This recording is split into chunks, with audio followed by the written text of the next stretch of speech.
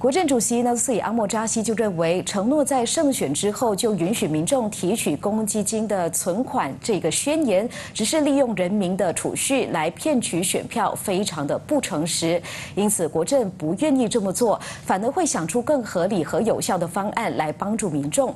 他就强调，就算未来需要允许民众提取公积金，也必须是出于诚实的原因。